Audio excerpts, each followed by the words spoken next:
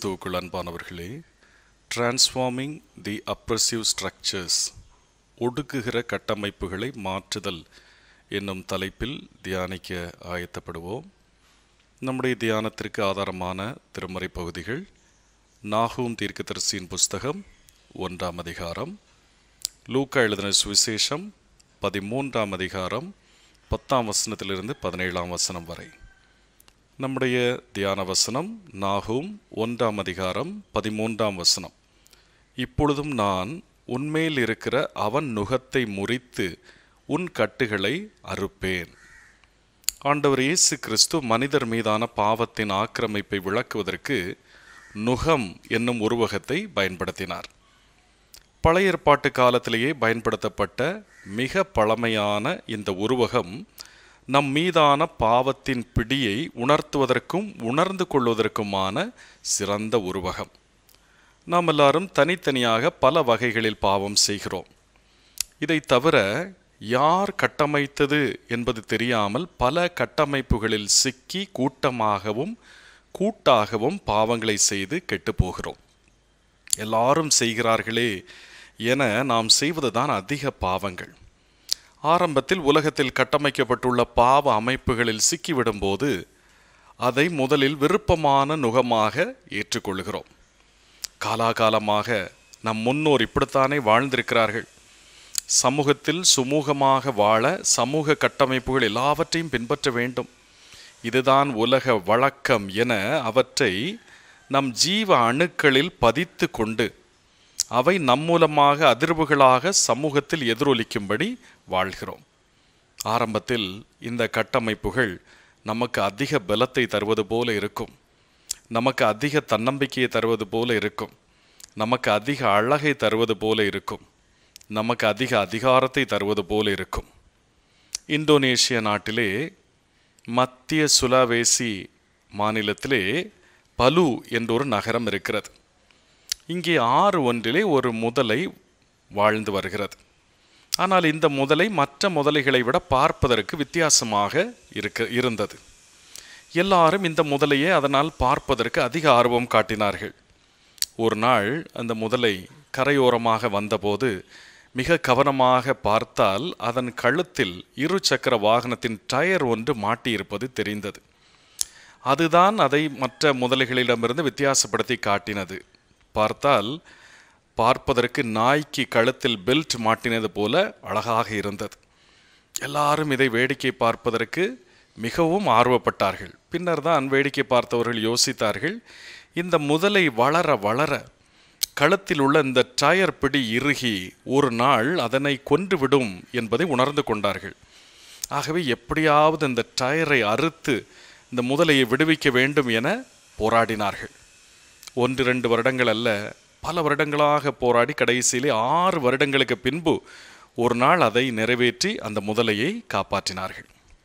நாகும் ஒன்றாம் அதிகாரம் பதிமூன்றாம் வசனத்திலே அசீரியர்களில் யாரோ ஒருவன் கட்டமைத்த நுகத்தில்தான் அசீரியர்கள் பலர் சிக்கி கொண்டிருந்தார்கள். அதிகமாக சிந்தித்தாலும் வெளியே மீண்டு வர முடியாத சிக்கல்தான் நுகம். கட்டமைக்கப்பட்ட சிக்கலான நுகத்தில் சிக்கியிருந்த அசீரியர்கள் அப்பாவிகளான இஸ்ரவேலரையும் அச்சுறுத்தி பாவம் செய்து வந்தார்கள். வெளிச்சத்திற்கு பழக்கப்பட்ட கண்கள் இருளுக்கு தடுமாறுவது போல இருளுக்கு பழக்கப்படாத இஸ்ரவேலர் நுகத்தின் பிடியிலே சிக்கி தடுமாறினார்கள். காத்திருந்து நம்மை அழித்து போடும் ஒடுக்கும் கட்டமைப்புகளை குறித்து தான் இன்றைக்கு நாம் தியானிக்க போகிறோம். நாம் தியானிக்க போகிற முதலாவது ஒடுக்குகிற கட்டமைப்பு பெருமை பெருமை. நாகும் ஒன்றாம் அதிகாரம் பதினோராம் வசனம். கத்தருக்கு விரோதமாக பொல்லாத நினைவு கொண்டிருக்கிற தூர் ஆலோசனைக்காரன் ஒருவன் உன்னிடத்திலிருந்து புறப்பட்டான். கத்தருக்கு விரோதமான பொல்லாத நினைவு ஒன்றே ஒன்றுதான். அது என்ன? பெருமை. இன்று உலகத்திலே அதிகாரத்தின் உச்சியில் உள்ள தலைவர்களும் சாதாரண மக்களும் பெருமை என்னும் கட்டமைப்பில் சிக்கி கொண்டிருக்கிறார்கள். அசீரியா பெருமை என்னும் இந்த கட்டமைப்பில்தான் சிக்கி கொண்டிருந்தது. தன் செல்வ செழிப்பினாலே அசீரியா பெருமை கொண்டிருந்தது. அசீரியாவின் துறைமுக நகரங்கள் அதற்கு அதிக வருமானத்தை ஈட்டி கொடுத்தன. இது அவர்களுக்கு பெருமையை கொடுத்தது. இதை தவிர தலைநகராகிய நினைவே நகரை சுற்றிலும் ஒரு பாதுகாப்பு சுவர் எழுப்பப்பட்டிருந்தது. இதுவும் அசீரியர்களுக்கு பெருமையை கொடுத்தது. பெருமை கத்தரின் துணை இல்லாமல் கத்தரை மிஞ்சி நாம் பல காரியங்களை செய்துவிடலாம் என்னும் மிதமிஞ்சிய தன்னம்பிக்கையை ஏற்படுத்திவிடும்.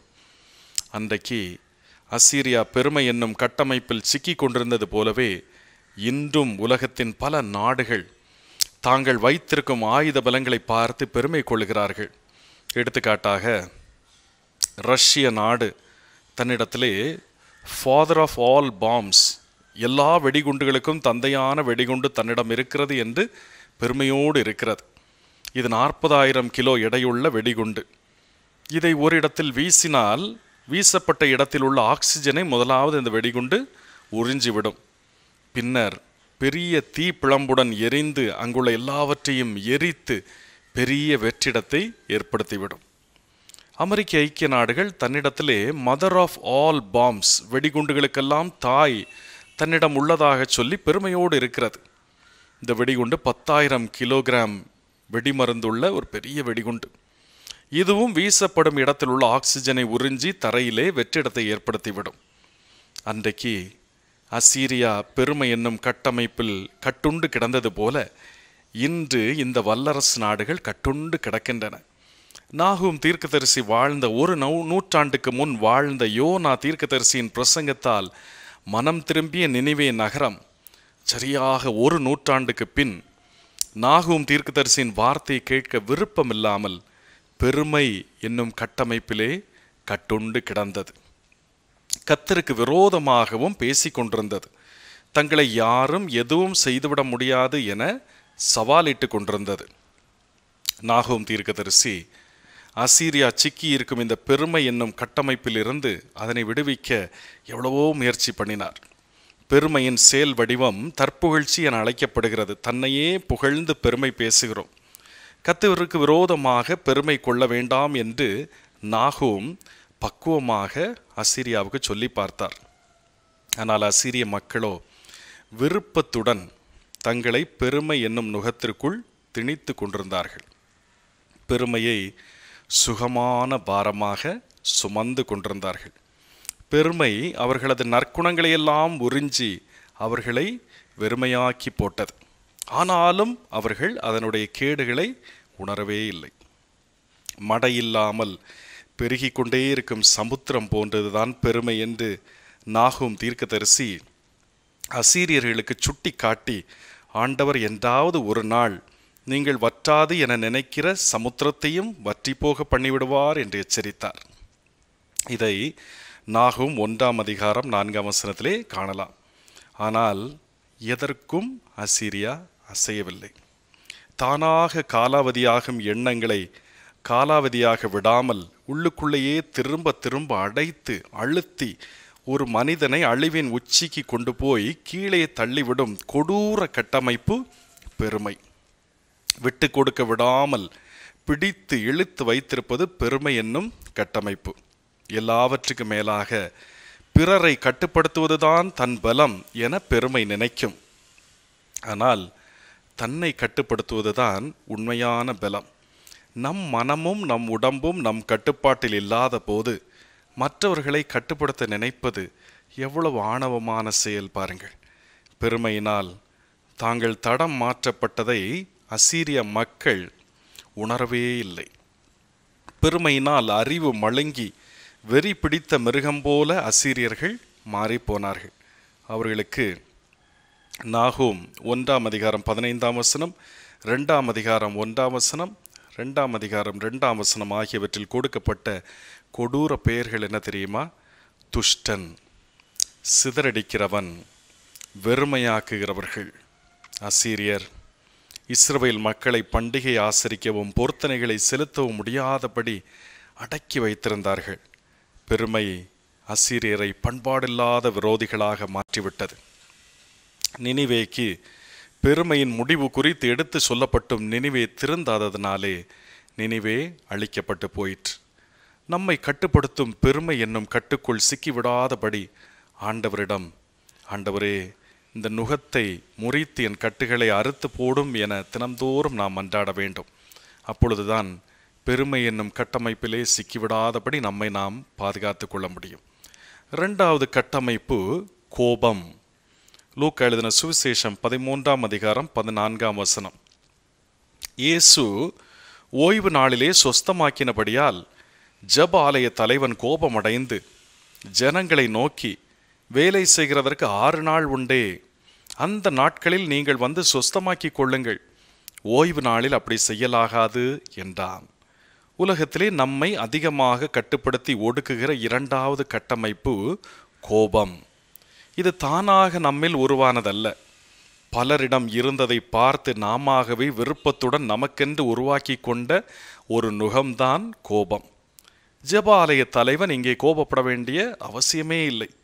ஆனால் அங்கே வந்திருந்த பரிசெயர் சதுசெயர் போன்ற பெரிய மனிதரை திருப்திப்படுத்தவே கோபப்படுகிறான்.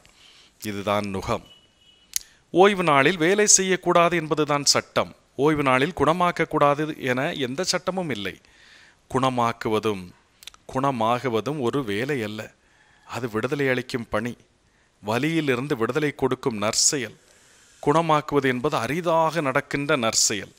இதனை நேரம் காலம் நிர்ணயித்து செய்ய முடியாது.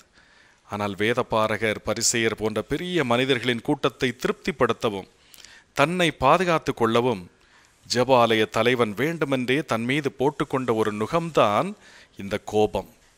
பல சமயம் யோசித்து பாருங்கள் பல நற்செயல்கள். அவன் கோபப்பட்டு விடுவானோ? இவள் கோபப்பட்டு விடுவாளோ என செய்யப்படாமலேயே தடைப்பட்டு போய்விடுகின்றன. மனித கோபத்தால் கட்டமைக்கப்பட்ட அமைப்புகள் பல நற்செயல்களை தடுக்கின்றன. ஒரு கிராமத்திலே ஒரு பாட்டி தன் பேரனோடு வசித்து வந்தார்கள். ஒரு நாள் அந்த பாட்டியின் காலிலே புண் ஏற்பட்டது. நீண்ட நாட்களாகியும் காலில் ஏற்பட்ட புண் ஆறவில்லை. இதனால் பேரன் வருத்தமடைந்தான். பேரனின் நண்பன் ஒரு இயற்கை வழி மருத்துவர் நேச்சுரோபதி டாக்டர் அவர் பாட்டியின் காலை பரிசோதித்துவிட்டு காலில் ஏற்பட்டிருக்கும் புண் குணமடைய தினமும் கடல் நீரை எடுத்து வந்து காலில் ஊற்றினால் போதும் குணமாகிவிடும் என்று சொன்னார். இதை கேட்ட பேரனுக்கு மிகுந்த மகிழ்ச்சி ஏற்பட்டது. வீட்டிற்கு வந்தவனுக்கு திடீரென்று ஒரு சந்தேகமும் ஏற்பட்டது. என்ன சந்தேகம் என்றால் கடல் நீர் பொது சொத்து. தனி மனிதனான நான் பொது சொத்தான கடல் நீரை பயன்படுத்தி இந்த புண்ணை குணமாக்கி கொள்ள முறைப்படியான அனுமதியை பெற வேண்டாமா? எதற்கும் கிராம சேவகரிடம் அனுமதி பெற்றுவிடலாம் என அவருக்கு ஒரு கடிதத்தை எழுதினான். ஐயா என் பாட்டிக்கு காலில் ஏற்பட்டுள்ள புண்ணை குணப்படுத்துவதற்கு மருந்தாக கடல் நீரை பயன்படுத்துவதற்கு அனுமதி தர வேண்டும். கடிதத்தை படித்த கிராம சேவகர் அதிர்ச்சி அடைந்தார் இது யார் செய்த வேலை என்று தெரியவில்லையே. இதுவரைக்கும் இப்படி யாரும் என்னிடத்தில் அனுமதி கேட்கவில்லையே. இப்படி ஒருவன் கேட்கிறான் என்றால் ஏதோ ஒரு வில்லங்கம் இருக்கிறது. நமக்கு எதுக்கு வம்பு? இதை வட்டார வளர்ச்சி அலுவலருக்கு பரிந்துரைத்து விடுவோம் என தீர்மானித்து அவருக்கு அந்த கடிதத்தை பரிந்துரைத்து அனுப்பினார். அவர் கடிதத்தை படித்தார். என்றோ ஒரு நாள் அவருக்கும் கிராம சேவகருக்கும் நடந்த வாய் தகராறு அவருக்கு நினைவுக்கு வந்தது. இவன் நம்மை பழிவாங்க ஏற்பாடு பண்ணுகிறான். ஆகவே இதை கலெக்டருக்கு அனுப்பிவிடுவோம் என தீர்மானித்து அவருக்கு பரிந்துரைத்து அனுப்பிவிட்டார். கலெக்டர் கடிதத்தை பார்த்தார் படித்தார். அனுமதி கேட்பவன் ஆளுங்கட்சியா எதிர்க்கட்சியா என்று தெரியவில்லையே. கேட்டவன் ஆளுங்கட்சிக்காரன் என்றால் அனுமதி கொடுத்ததற்காக எதிர்க்கட்சிக்காரன் போராட்டம் நடத்துவான். கேட்டவன் எதிர்க்கட்சிக்காரனாக இருந்தால் ஆளுங்கட்சிக்காரனுடைய கோபத்துக்கு ஆளாக நேரிடும். நமக்கு எதுக்கு வம்பு? பேசாமல் சம்பந்தப்பட்ட அமைச்சருக்கு அனுப்பிவிடுவோம் என தீர்மானித்து அமைச்சருக்கு அனுப்பிவிட்டார். அமைச்சர் கடிதத்தை படித்துவிட்டு யார் இப்படி ஒரு பிரச்சனை கிளப்புகிறார் என்று தெரியவில்லையே. தெரியாத்தனமாக அனுமதியை கொடுத்துவிட்டு நாளைக்கு அது பிரச்சனையாகிவிட்டால் என் பதவியே போய்விடுமே. ஆகவே இதற்கு ஒரு பதில் கடிதம் எழுதி மத்திய அரசுக்கு அனுப்பிவிடுவோம் என்று தீர்மானித்தார். அதன்படி அன்புடையீர் எனது கட்டுப்பாட்டில் ஆற்று நீர் கிணற்று நீர் குளத்து நீர் இவைகள்தான் வரும். நீங்கள் கேட்பது கடல் நீர். இது மத்திய அரசின் கட்டுப்பாட்டில் உள்ளது. ஆகவே மத்திய அரசுக்கு இதை அனுப்புகிறேன் என மத்திய அரசுக்கு அனுப்பிவிட்டார். மத்திய அரசுக்கு போன கடிதம் அமைச்சரவை கூட்டத்தில் விவாதிக்கப்பட்டது. என்னதான் கடலின் ஒரு கரை நம் நாட்டில் இருந்தாலும் அதன் அடுத்த கரை அடுத்த நாட்டில் உள்ளது. எனவே கடல் நீரை எடுத்து பயன்படுத்துவது சர்வதேச பிரச்சனை. ஆகவே ஐநா மன்றத்தில் விவாதித்து முடிவு எட்டப்படும் வரை பாட்டிக்கு கடல் நீரை பயன்படுத்த தடை விதிக்கப்படுகிறது. அமைச்சரவையின் முடிவு கடிதமாக பேரனுக்கு அனுப்பப்பட்டது. பேரனுக்கு கடிதம் கிடைத்தபோது பாட்டி இறந்து நாற்பது நாள் ஆகியிருந்தது. மனிதனின் நற்செயல் முயற்சிகள் எல்லாம் இப்படிதான் நடக்கிறது. ஏனென்றால் நாம் பல கட்டமைப்புகளில் சிக்கி இருக்கிறோம். ஆனால் ஆண்டவர் இயேசு கிறிஸ்து இந்த கட்டமைப்புகளின் கட்டுகளை அறுத்து அன்றைக்கு இந்த பெண்மணிக்கு அற்புதம் செய்தார். நாம் சுமந்து கொண்டிருக்கிற நுகங்களை கொஞ்சம் யோசித்து பார்ப்போம். பெரும் பாரமாய் மனம் கனத்து போய் வாழ்ந்து கொண்டிருக்கிறோம். நம் நுகம் முறிக்கப்படவும் நம் கட்டுகள் அறுக்கப்படவும் ஆண்டவரிடம் நம்மை ஒப்புவிப்போம். நம்மை கட்டி வைத்துள்ள நுகங்களான முன்னோர்களின் பாரம்பரியம் அரசியல் கொள்கைகள் குடும்ப வழக்கங்கள் அந்நிய நுகங்கள் கட்டமைக்கப்பட்ட கௌரவங்கள் எல்லாம் அறுக்கப்படட்டும். நாகும் ஒன்று பதிமூன்றிலே ஆண்டவர் சொல்லுகிறார் உன் மேல் இருக்கிற அவன் நுகத்தை முறித்து உன் கட்டுகளை அறுப்பேன். ஆண்டவர் நம்முடைய நுகத்தை முறித்து கட்டுகளை அறுத்து சுதந்திரமாக விடுதலையோடு வாழ அருள் செய்வாராக. ஆமேன்.